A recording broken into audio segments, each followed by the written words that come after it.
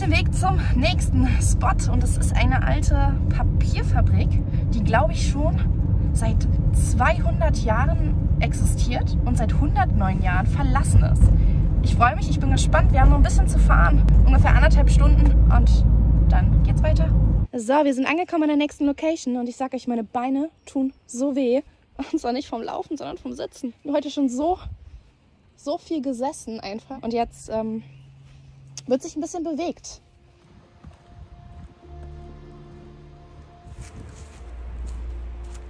Wir haben jetzt noch einen kleinen Fußmarsch vor uns. Das da unten gehört noch nicht dazu, ne? Nee. Das ist ein das verlassenes Klärwerk.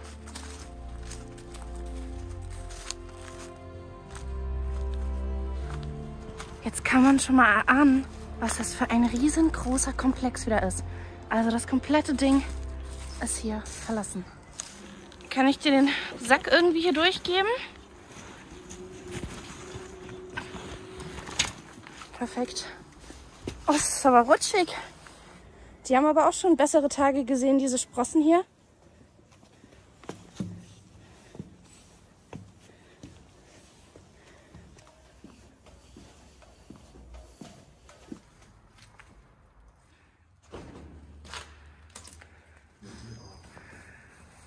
Oh, richtig geil, Leute. Das fängt schon mal richtig gut an. Hier sind noch so alte Walzen, ne? Sowas in der Art. Antriebsgeneratoren. Antriebsgeneratoren, Leute, ihr habt's gehört. hier geht's nach unten. Ich nehme an, dass hier mal, vielleicht war hier mal eine Treppe oder das wurde halt einfach rausgenommen hier. Da liegt ja dieses Holz. Ja, alles andere ist Stein und da ist Holz. Ist noch irgendeine Beschreibung von irgendwas auf verschiedenen Sprachen. Und hier ist das ein alter Feuerlöscher? Ja, oder? der ist aber schon dezent verrostet.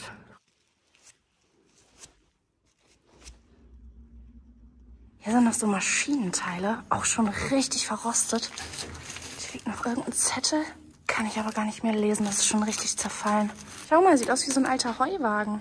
Ach nee, ist nur eine Kiste. Ich dachte, das wären Räder, wegen diesen Dingern davor. Wer von euch kann denn diese Schrift noch lesen? Man kann sich aus des Lebens Kuchen nicht nur die Rosinen suchen. Die Rucksäcke sehen jetzt gar nicht so alt aus. Weiß nicht, ob vielleicht nachträglich die hier jemand vergessen hat oder ob die wirklich hier zugehörten. Das war mal ein Aktenordner. Ich wette, wenn ich den anfasse, zerfällt er in tausend Teile. Einbau, Bedienung und Wartung. Boah, es wäre mega interessant, wenn wir hier jetzt noch ein Datum finden würden. Aber ich glaube, hieraus kann man das nicht wirklich entnehmen. Hier geht jetzt auch wieder eine Leiter nach oben.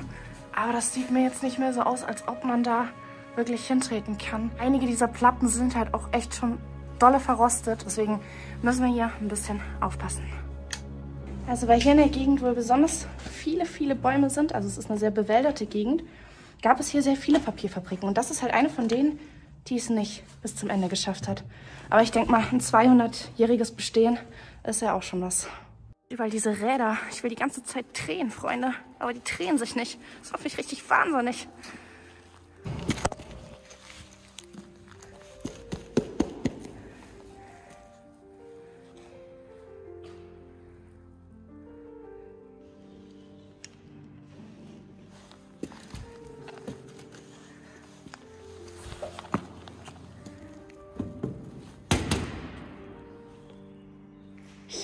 War dann wohl die Schaltzentrale. Es sind noch so richtig die Knöpfe da. Und an der Wand hier komplett überall Schaltkästen. Habe ich so auch noch nicht gesehen. Richtig, richtig cool. Badewerkbezug im Monat, bestellte Leistung, Vorgabe. Da oben noch so ein kleiner Schlüsselkasten. Ja, ganz oben drauf habe ich schon drauf gestanden.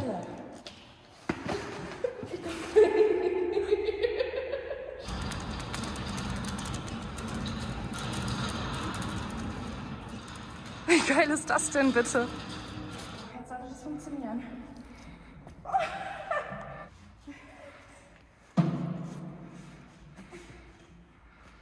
Das Ding hier oben dreht sich auch noch mal. Nur für die ganz großen Kinder. Eine geile Halle nach der anderen. Das sieht jetzt auch richtig cool aus, weil diese Sonne hier so reinstrahlt.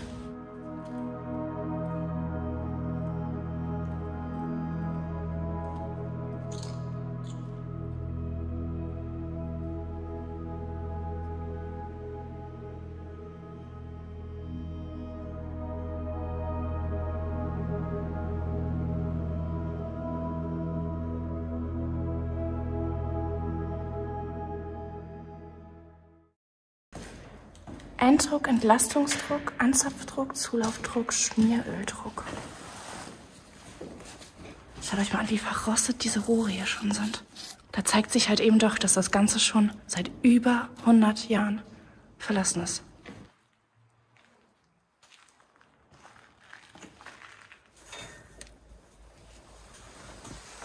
Da unten sind auch noch mehr Schaltkästen. Und hier ist auch noch mal so ein Schaltpult mit ganz, ganz vielen Knöpfen. Muss man auch erstmal den Durchblick haben. Hier steht sogar noch was drauf. Frischlüfter und Anfahrkühler. Und hier konnte man dann immer sehen, bei wie viel das stand quasi. Da draußen arbeiten wohl noch Leute und zwar direkt vorm Fenster. Man hört das vielleicht auch. Und obwohl heute Feiertag ist, deswegen wissen wir auch nicht, wer das ist. Wir werden jetzt mal schauen, dass wir hier um die Ecke kommen und da geht wohl noch eine Leiter hoch. Dann schauen wir, dass wir aufs Dach kommen.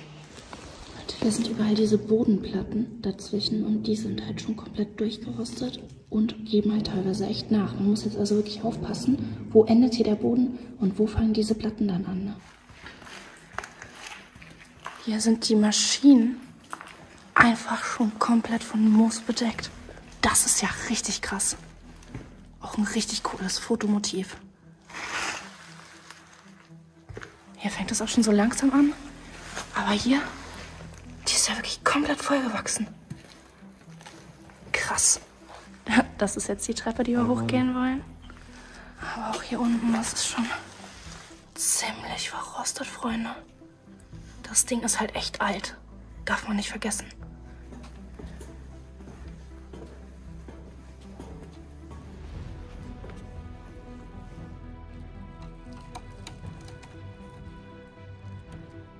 Also man könnte fast meinen, dass diese Gitter hier nachträglich eingelassen sind. Aber wenn man halt bedenkt, dass die auf diesem Rost hier aufliegen, dann ist das schon äh, abenteuerlich. Das ist echt ganz schön hoch, Leute. Das sind schon einige Meter. So, wir sind noch lange nicht oben. Noch lange nicht.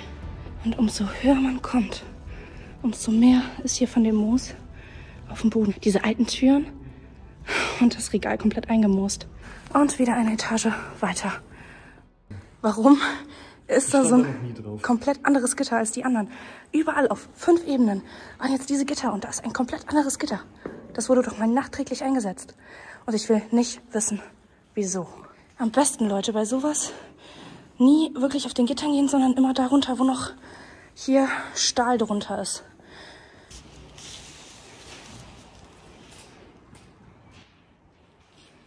Da unten schwingt die ganze Zeit so ein Band hin und her und ich denke die ganze Zeit, da kommt jemand. Das triggert richtig, Leute. Oh, fester Boden unter den Füßen. Was ist denn das hier?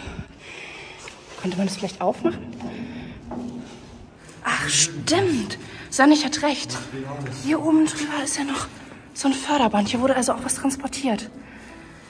Kohletransporter träumt von Rente. Wenn du einen Kumpel hast und der hat gute Weine, sorge dafür, dass er dich nicht hasst, sonst säuft er sie alleine. Warum ist in der Papierfabrik ein Hinweis auf Wein? Das ist so ein alter Handschuh. Es ist steinhart, wie Beton. Hier riecht es noch so richtig nach Eisen und Öl, vor allem nach Öl.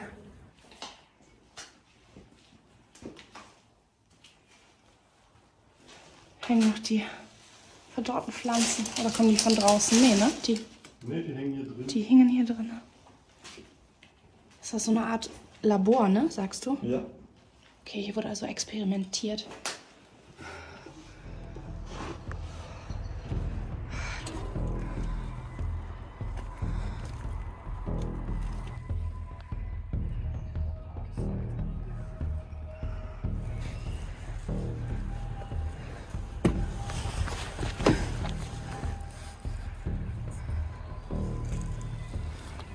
So Leute, an der Stelle werde ich mal auf die GoPro umsteigen.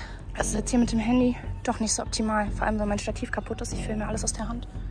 Deswegen wird jetzt hier einmal geswitcht. Den lasse ich jetzt mal hier stehen.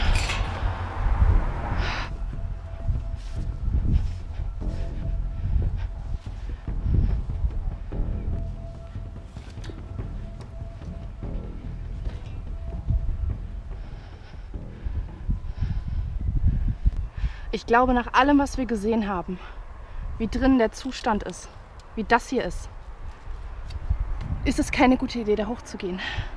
Was wir aber mal schauen können, da gehen auch noch so Sprossen hoch. Ob man die vielleicht noch eher gehen kann. Aber hier, ja, das hier, ne, Freunde, ist nicht gut.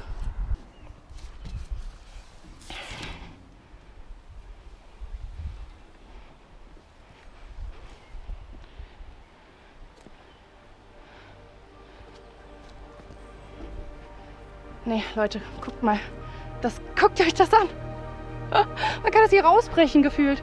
Man kann den ganzen Turm rausbrechen. Also da ist definitiv Ende. Es ist ja eh schon geisteskrank, dass wir bis hier hochgeklettert sind. Da hinten fahren Autos. Wir müssen eigentlich ein bisschen aufpassen. Aber das, hier ist Schicht, Freunde. Es war schon an manchen Stellen gewagt genug, aber hier ist dann definitiv Ende. Wir machen noch ein paar coole Fotos hier und dann fahren wir weiter. Entweder noch zu einer Location oder wir werden uns einen Platz suchen, wo wir dann noch was kochen und auch schlafen können. Aber hier geht es definitiv nicht hoch.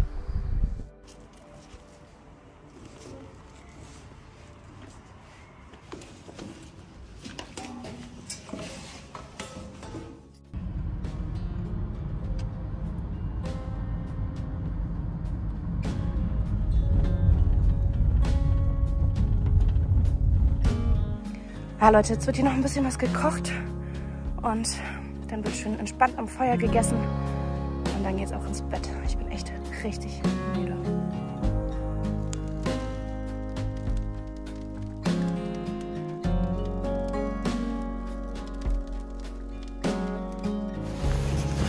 So, Dachzelt ist aufgebaut.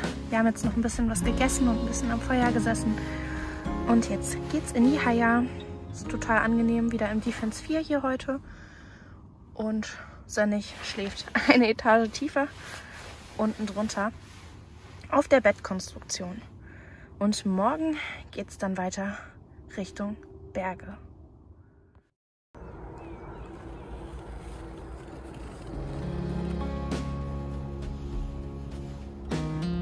Guten Morgen. Wir haben jetzt glaube so 10 nach 6 oder so. Ich kann gefühlt irgendwie gar nicht mehr schlafen. Ich bin hellwach. Ja, und was mir mega Sorgen bereitet, ist meine Schulter.